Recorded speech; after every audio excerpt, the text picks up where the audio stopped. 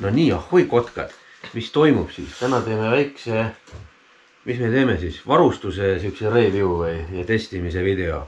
et Hiking Baltnord saatis meile siukse eh, Milteki Survival eh, pivi, Milteki ellujäämis siukene nagu ähm,, äh, mis ta siis on, magamiskott või? millega siis hädaolukorras peaks saama nagu, nagu, nagu öö üle elatud, et see on siukene väike, suhteliselt kerge, kakssada viiskümmend grammi. ja tegelikult ma juba ühe öö magasin sellega toas, sellepärast et ähm, teeme lahti. nii.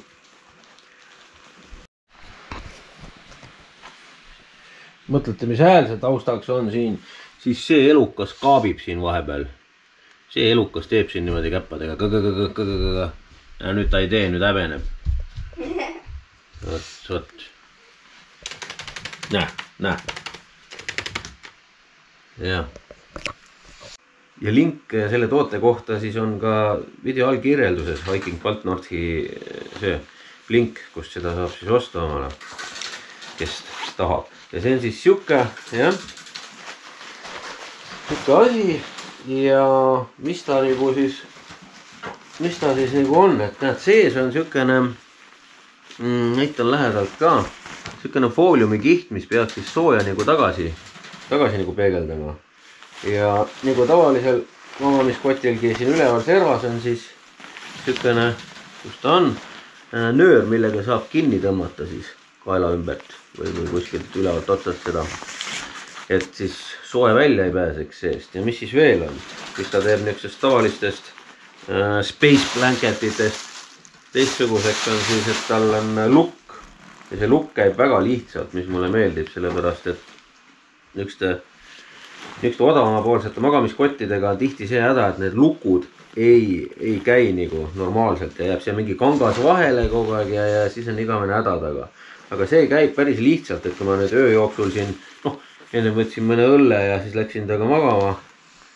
et siis sai öösel mitu korda kusel käidud ja siit sisse-välja käidud ja see lukk käis väga hästi, et miks ma toas proovisin seda, toas ma proovisin seda sellepärast, et see materjal peaks olema nüüd nagu üheksakümmend viis protsenti polüester ja siis see alumiinium äh, asi siin sees äh, viis protsenti. mida ma kartsin, on äkki see, et äh, nagu nendega on, selle Maileriga, et ta äkki ei hinga. ja siis ma tahtsin toas hästi palavas seda testida ja jõin ennem veel kõvasti õlut ka, et oleks mida higistada.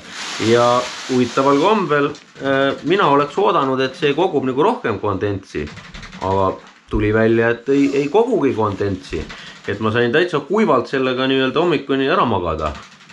et äh, higistasin küll seal sees, palav, korteris keerasime radikad peale, aga midagi siia sisse nagu ei jäänud, et ikkagist äh, jah hingas välja kõik selle higi siit, et see on nagu, oli täitsa üllatus kohe minu jaoks, nii. aga mida nüüd tahaks veel testida täna, on äh, selle asja veekindlus, ta peaks ka nagu veekindel või vett hülgav või midagi niimoodi olema. et ähm, meil nüüd sadas ju vahepeal lumi maha, et läheb õue, äh, proovib seda nüüd päris õuetingimustes ka natukene äh,. kükitab selle sees siis mm, nagu lühikeste varrukatega ja vaatab, mis tunne on. sellepärast, et siukeste asjadega ma olen kükitanud lühikeste varrukatega õues. ja, ja kui see asi nüüd otseselt vastu keha ei ole, niisugune space blanket, võtad ta niimoodi, niimoodi ümber, noh, natuke paremini kui mina näitasin praegu, siis ta peegeldab sooja tagasi küll. et mis nüüd selle puhul on, et ta nüüd ei peegeldanud seda sooja nii palju tagasi et ma tundsin küll, et peegeldab tagasi, kui ma siin toas teda proovisin, aga mitte nii palju, sest et ta tõenäoliselt jah, tal on vähem seda läikivat pinda nagu kui sellel päris sellel Space Blanketil, mis Mailerist on, et, et ja, aga ma usun, et see ongi see, mis ta nagu hingavaks teeb. äkki, et selle alumiiniumi kihtide vahel on siin nagu näha mingid rohelised need, et kus ei ole seda alumiiniumit peal, eks ta siit vahelt niimoodi välja hingabki, et ta ei saagi olla sada protsenti see alumiinium, et vot siis ta tõenäoliselt ei hingakski välja. aga hingama selline asi peab, sest et see kondents on kõige hullem asi, mis nagu saab olla, kui sa sihukest asja kasutad. materjal ise on õhukene, et ta ei ole nagu mm, ju nagu päris magamiskott soojapidav, aga, aga mis ta on, ongi see, et ta on üks lisakiht sul ümber, pluss siis see, mis peegeldab su keha sooja tagasi et äh, jaa, seda lähme siis nüüd õue, õue testima ka kohe. jah. ja siis üks asi veel, see pakkekotiga ja telkidega ja, ja muu varustusega, magamiskottidega on tihti see lugu, et äh, kui sa nagu ei viitsi väga piinlikult äh, hästi kokku äh, voltida neid telke on ju ja asju, siis nad lihtsalt ei mahu oma pakkekotti pärast. et äh, aga selle puhul, kui ma seda kokku pakkisin, oli päris äh, hea, sest mulle meeldis, et tal on ruumi äh, nagu natukene rohkem, et peaaegu saad ühe null kolmese õlle ka veel siia kõrvale sisse, sisse pigistada, kui kui äh, jah, ta kokku voltida, et ta läheb suhteliselt lihtsalt nagu pakki, nii, hoia seda. et kui ta nagu suhteliselt robustselt kokku voltida, noh, et seda, seda ma ei topiks niimoodi nagu neid äh, tavalisi magamiskotte, et võib-olla kortsutab liiga palju või ma ei tea, äkki see alumiiniumikiht, kui teda korduvalt kasutada, hakkab nagu ära kuluma, et niimoodi voldin ikkagist. Et eh, tegelikult ma tahaks sellist asja võib-olla teinekord kasutada ka päris magamiskoti pivina siis, et, et miks mitte seda kasutada ka lihtsalt lisa, lisakihina ümber, mis annab jälle mõne kraadi sooja juurde, et näed, rullin ta suhteliselt niimoodi laadnalt kokku, ei üldse, ei, ei voldi nagu hoolega, nii et ta tegelikult läheb ilusti siia, siia sisse, et seda ruumi on nagu, ruumi on nagu üle, et see pakkekotti ei pea teda nagu hirmsasti hoolega nüüd voltima või rullima, et ta siia sisse läheks ja läheb, läheb ilusti siia sisse niimoodi, jah. Ja jääb ruumi veel ülegi. et kui ma oleks paremini voltinud ta, siis ma oleks päriselt vist null kolmese õllega veel siia kõrvale pigistanud, oleks ikka natuke tummisem ellujäämis. noh, magamissüsteem siis ütleme nii, nüüd võtab kotist välja selle, selle äh, magamiskoti Äh, vist panen selle tavalise Space Blanketi ka alla, sest et siin on päris sihuke lumine seis. võtan dressipluusid pühalt maha, püksid jalast ära vist oleks ka mõistlik võtta selle asja testimiseks, sest et lühiajaliselt teeb. et pikalt ei hakka siin istuma, aga et efekt võimalikult kiiresti kätte saada, et kas peegeldab ja kuidas peegeldab ja mis tunne sellega nagu võiks olla, siis teeb niimoodi jah, natukene paljemalt selle asja, okei okay.. nii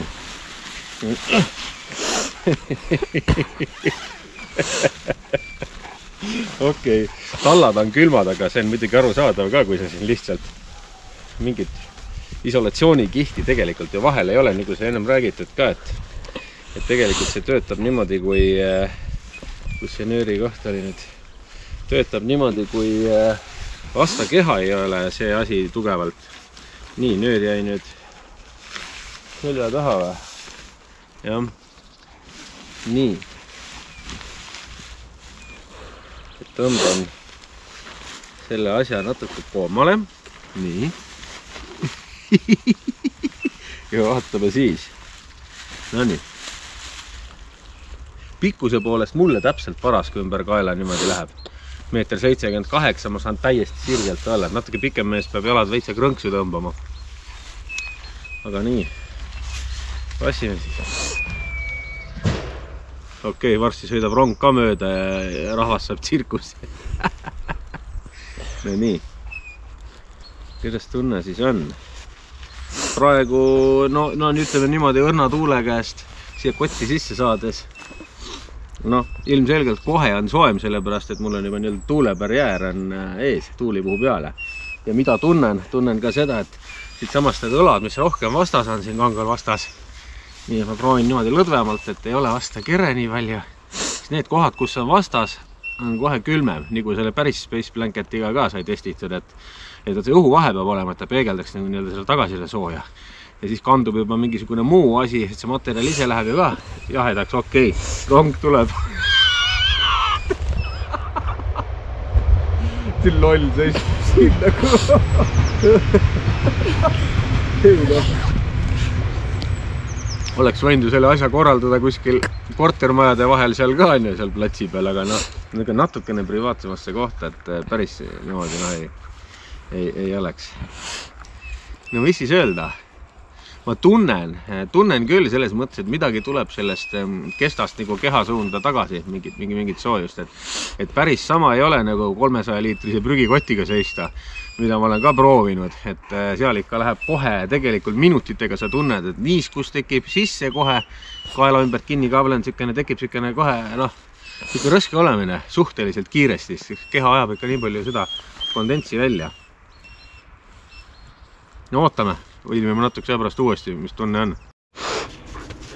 Nonii, et ainuke koht, kus praegu külm on, on äh, nii-öelda talla alt, sellepärast et mul on jalas ainult sokid ja see õhukene Maileri kiht, mis ma siin laiaks tallan, omal talla all ei äh,, ei ole piisav isolatsioon maast, ehk siis kui niisuguse asjaga kuskil ollagi, siis peab mingi maast ikkagist isoleerima ennast kuidagi ja, ja noh, ega ilma saabasteta ju metsa äh, loodetavasti ära ei eksi ka. et siiamaani kõik on okk, on soe, ei ole jahedamaks läinud ega midagi, aga tuleb arvestada ka seda, et mul praegu siin nagu veri, veri keeb sees. pump pumpab, on ju, aga niimoodi magamisasendis olles äh, magades tähendab, kui päriselt magada tahad sellega, siis ju see pulss läheb aeglasemaks ja, ja siis, siis, siis ma kardan, jääb sellest väheks, niimoodi nagu ma praegu olen. Äh, jah, trussikute väel ja lühikeste varrukatega et muidu äh, ma arvan, riietega elaks sellega öö üle küll. et see on ikka piisav kiht ümber ja, ja piisavalt peegeldab tagasi, et annab ikka siukse päris hea lisa, lisakihi juurde. vot, et ega siin midagi, me siin rohkem tsirkust tõi inimestele, et siin koertega jalutajad ka käivad mööda ja asjad jah, et, et paneme riided kähku selga tagasi, kuni keegi siin kõrval ei ole. jah, ja teeme siis mingi kokkuvõtte. Nonii ei hakka seda veepidavustesti õues tegema, teeme toas.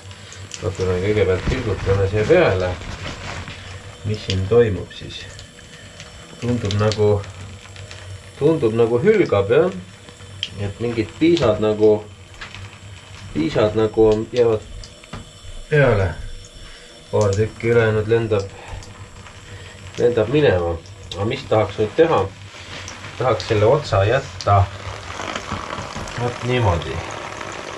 et jätab siia natukene veetilga peale natukeseks ajaks ja vaatab, kas, kas lekib läbi, kui natukene aega peale on siin niimoodi või kas nagu märgub ära või, või, või ongi veekindel ja.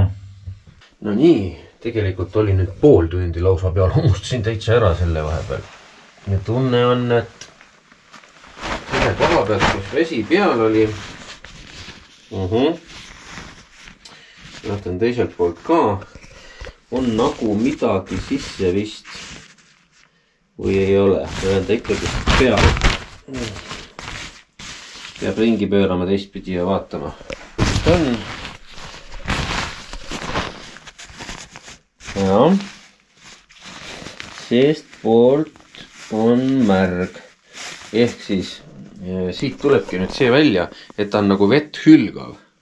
et ta päris veekindel ei ole, et kui ta päris veekindel oleks, siis ma usun, et see kondents nii-öelda ei pääseks ka siit välja, vaid jääks sisse, ehk siis ta on sihuke vett hülgav, mingid piisad, mis sajavad peale ähm,. nii-öelda pritsib mingi aja eemale ja siis, siis hakkab lekkima ehk siis veekindlus on testitud, aga, aga see ongi ja selle hinnaga äh, et äh, selles mõttes, et kui ta nüüd ei ole mm, veekindel, siis ta on hingav, just. ja ega siin midagi muud polegi selles mõttes äh, kokku võtta, et, et selle raha eest on asja küll, ma arvan. ja noh see ongi, et üks asi, ühe, üks puudus kompenseerib nagu teise omaduse.